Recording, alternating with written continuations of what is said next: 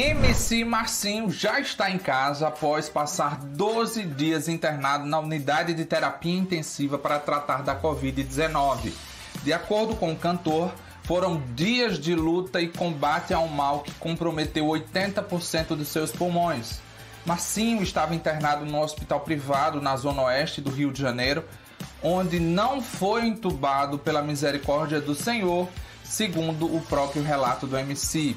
Passado o susto e com alta médica, Marcinho agradeceu ao carinho de todos os fãs por meio de suas redes sociais.